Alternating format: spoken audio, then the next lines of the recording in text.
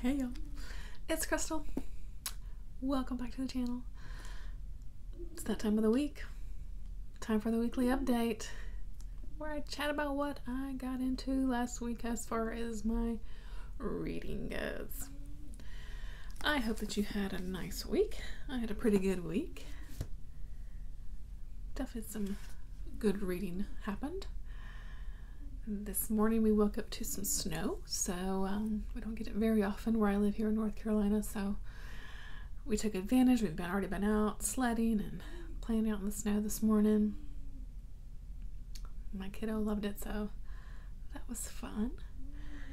So yeah, it's a Saturday, so we're just gonna, you know, take it easy like we normally do. But let's just jump right into what I got into last week, what I finished up, and what I've got progress, all that good stuff. So, first up, let's talk about The Hay Bale by Priscilla Bettis. This was phenomenal, and I loved it. So, I think a lot of us know Priscilla. We always see her in the comments. She's very supportive of everyone here on BookTube. And she has put out a, uh, a piece of short piece of short fiction called The Hay Bale. And this is a story, gosh, let me tell you a little bit about what's about. Okay, so we have a woman named Claire. she has had several miscarriages, a failed adoption attempt, and now she's separated from her husband. So for the summer, she's decided to kind of, you know, get away for a bit she's rented this sort of old plantation home up in the Virginia mountains. She's like, you know, take a break. Let me kind of reset, regroup, get my mind together. She wants to try for another adoption. So, you know, just, you know, just have some quiet. And like I said, kind of regroup, right? Well, she gets there immediately she hears something in the walls. She's like, "Oh, this is an old house. Gosh, is there like a you know a mouse in the wall or something?" So she's kind of like, "Ooh," a little weirded out. So she kind of goes out to the back of the house, and then, like I said, this is an old plantation house, so there's lots of land still associated with it, even though it's been broken up over time. But and she sees like this lone hay bale out there in the back, and she's like, "That's kind of weird to just see." To just see one, you know, like, eh, but whatever. She goes and checks it out, and she's like, this hay bale doesn't actually look very healthy because she's a microbiologist, and the center of it is looking a little, looking a little, you know, uh, gunky and gooey. And she's like, oh, this hay looks like it was rolled up wet. I better let the farmer know because there's just there's some bacteria growing in here. This is not going to be good healthy hay to use, right? Well, it turns out that the local folks know all about this hay bale, and um, yeah, there's something uh, there's something strange about the hay bale. Uh, that's what I'm gonna say about that. and let me tell you, this story was so good. Priscilla just captured this phenomenally. If the the grief, of course, that Claire's going through the grief, the loss. I mean, I think this is really a story about that. Um, and then you know, get this folk horror you know, tinges with the uh, what's going on with this hay bale, what's going on with the local folks. She sets the scene perfectly, gives us a, a perfect amount of spookiness, perfect amount of emotion. Characters are great. Um, if anything, if I could criticize this at all, it'd be that I want more. I would have loved to have more background about um, about this this neighborhood, you know, this little town or whatever, and the more about the history of everything because yeah i could have definitely gobbled up more. So priscilla bettis did an amazing job. I can't recommend this enough. You can grab it on amazon. Um, it's like 40ish pages. You'll fly through it. It's amazing. And i cannot wait to see what priscilla has in store for us in the future because i'm telling you if this is any indication i'm gonna love it. So I was I loved that story. The Hay Bale by Priscilla Bettis. Fantastic. So what was next? Let's see. Oh, I finished my poetry collection. Where did I put that? All the Pretty Ones by Anne Sexton. This was my sort of poetry collection for January that I was making my way through. And um, I did finish it. I did do a little Poetry Thursday video on it. I talked a little bit about the collection and then I read one of the poems. Um, I'd love for you to check that out if you're interested. Um, I was a little nervous doing a reading, but um, it was fun. So I loved this collection. It was amazing. Anne Sexton is awesome. So I won't say too much because I, I do have that other video, but I enjoyed it. All right. What was next? Yes, this. I did finally finish The Watchmaker of Filigree Street by Natasha Pulley. And, ooh, I ended up not really liking that. this, this, um, as what do we say around here? This was not for me. Mm, yeah, I ended up being just absolutely bored with this story. Ooh, I hate saying that, but, whew, I just, I, I just kept going, kind of like, I mean, what is, what is the point of everything, you know? Because you know we got this main character named Nathaniel who like this pocket watch is mysteriously placed on his pillow, and um, he, he, you know, he gets kind of wrapped up in like this bomb that goes off, and then like gets, you know, connected with the watchmaker of that fancy watch, Mr. Mori, who was a Japanese guy living in living in London. I don't know, you guys. I I just it was it was definitely slow. And I don't mind a slow story. I really don't.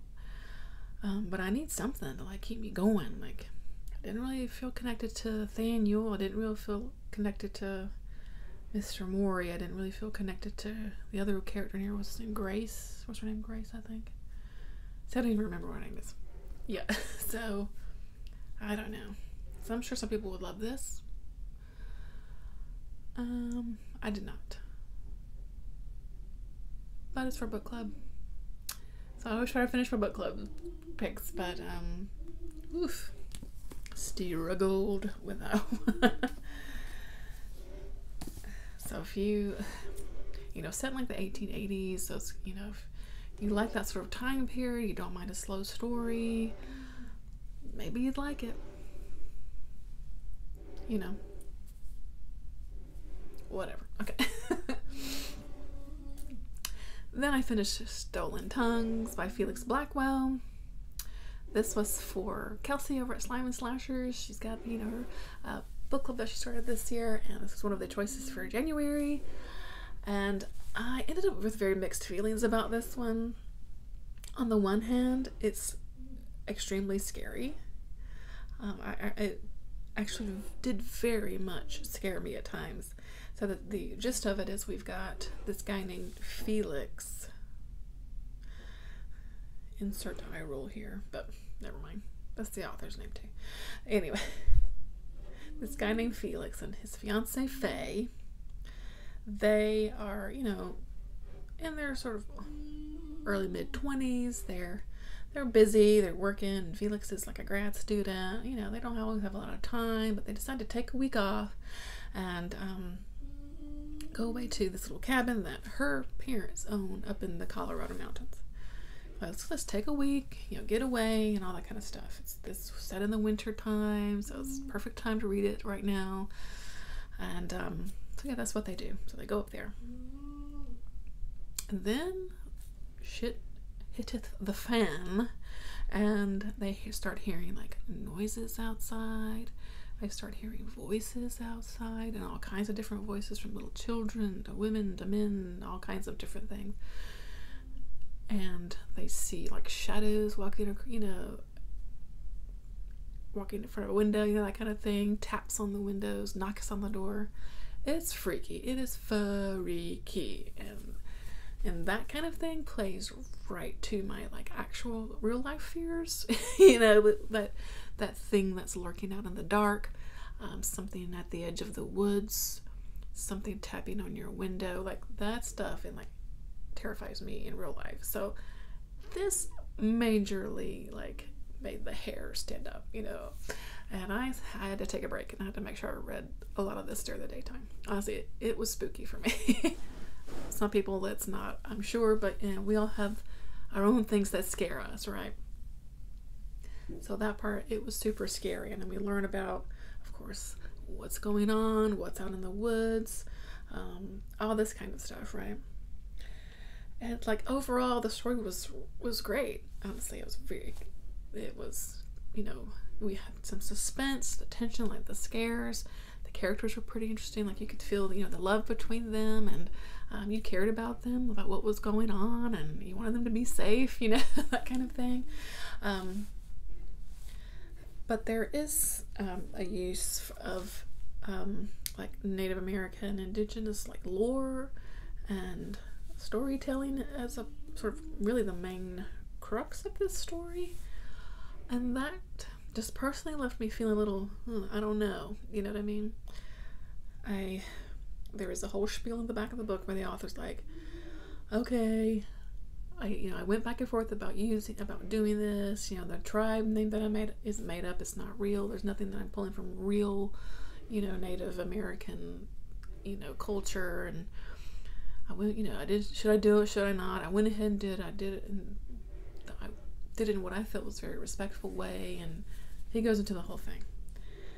And while I I do agree, I mean, I think he did a great, you know, he did a decent job with I think being respectful and making the there are a couple of there are a few of um, indigenous characters in the book that are done well, you know, seem authentic, done well in a very respectful way. I still just I'm feeling a little uh, about did it even need to be there though. I feel like the story really could have done without it. This, you know, this thing that's in the woods could have had some other sort of supernatural, you know, history or lore to it all of its own, and it did not need to really have a, you know, an indigenous connection. And it would have been just as scary because the scares came from his other writing about how eerie it is outside and how it's like, you know, phased like a sleepwalker and a sleep talker. And so that, that how that connects to this, like I said, this sort of entity that's outside. Um, all that is scary. Like it didn't need this other layer really of, you know, the Native American stuff tie in. So yeah, I don't know. I, I still just kind of have mixed feelings about it all. Overall, like I said, it scared the crap out of me in several scenes. I really liked the story. Feeling it, feeling weird about the inclusion of Native American culture, even if it is made up. Just my two cents, of course. All right, so then I finished Stranded by Bracken Macleod. This was the book club pick for Rachel over the Shades of Orange, her Patreon book club. And this is this was pretty good too. So I pulled this one up on audio. This follows a crew on a boat, and they are I forget exactly where they are now. They're up up north a bit. they are think they're like trying. They're like delivering things to like an oil rig. I think is what they're making. Where their what their purpose was. I'm drawing a blank now for some reason. Sorry. Anywho, and all, all of a sudden, uh, this sort of like big fog rolls in, and and damn if they're not stranded, right? The book, the book, the name of the book is Stranded. So they're all of a sudden this just surrounded by ice, which is not totally, even though they're up north, it's not like totally like, you know, um, normal for this area. There's gonna be some ice, but not like this, you know. And so they're stranded and they're figuring out like oh, what the world's going on. Like their all their equipments feel like their um, communication equipment, satellite equipment to contact people, or it's it's kaput. And so they're like, oh gosh, what do we do? You know. And so basically, this starts this journey of like them trying to survive. And I don't want to say much more because it gets twisty turny and it's pretty good. It's pretty good. So um, there's definitely sort of a a twist of the tone here, not tone, but yeah, twist of a theme here in the mid- sort of middle-ish part that flips the story on its head, and um, yeah, gave you good food for thought. And I don't say much more because it'll definitely spoil it. Um, but I enjoyed it. The narrator for this was PJ Ochlan, who I didn't love. I'm gonna be honest. The narrator, he sounded he reminded me of like a news anchor. Uh, he did the characters really well. Like he did some good. Like there's a character with like a Boston accent. There's a character with a Southern accent. There's one with like a French accent. Those sounded great, but the sort of general narration, he was very news anchor. but it was fine to um, to go through. It wasn't like you know the worst narration ever or anything. But um, so I don't want to say too much more because I don't. I mean, it's definitely like you can say too much about this and it will spoil it. But if you like a good, you know, survival type of horror story, especially set in cold weather, which for me, like being stranded in like cold weather is definitely kind of terrifying, you know, because it's so cold and ugh. yeah, it's it's it's scary. So yeah, that was pretty good. I dropped a book, so hold on. so that's what I finished. I made. Um, I finished up some pretty some pretty good stuff this past this past week. So things I've got in progress. I did make the teensy start on my reread for this month, which is Slaughterhouse Five by Kurt Vonnegut. I hadn't read this in a million years, and so I'm excited to dig back into it. I'm already loving it. You know, you forget stuff that you know, when it's been so long since you've read a book. You know, I can't remember. I did finish um, chapter five of House of Chains. We get uh, we meet some characters from previous books finally, so I'm like, ooh, okay, yeah, got some people that I know. that was cool. I'm still making my way through Dracula. You know, we're about third of third of the way left to go on that one. I'm I'm still enjoying just kind of chapter a day, and I'm a little behind actually, but um, slowly making my way through it. It's it's fun. Uh, it's been fun going through it that way, and then chatting chatting about it. So I did pick up a new short story collection because I did after finishing She Said Destroy by Nadia Bulkin. So I'm diving back into Midnight uh, from Beyond the Stars. This is an anthology of like sci-fi horror from Silver Shamrock. And um, yeah, there was the um, one story here. This one I just read. The last one, right? Embryo by Tim Curran. Ooh, that's a good story. Oh, it's so good. So I've enjoyed this so far. It's chunky, um, but story a day. I'm just kind of making my way through it, and it's been uh, it's been fun. And I know, I, I know, I know. I said I wasn't gonna buy any books for a little while. I know, because I've got, I mean, hundreds of books on my shelf that I've not read. I know. Okay, I know. But this went on sale and I bought it. I've already read this, so I mean, does it count if you've already read something? I don't think so.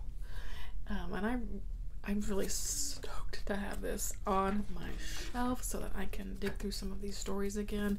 I loved, I loved this collection, so I'm so excited to have a copy. And you know, for this one, you know, it was half off on sale, and this completes my Hailey Piper collection, so I bought it. Benny Rose, The Cannibal King. It'll be the last story of hers that I've not read, or the last book of hers. So my Piper collection's complete.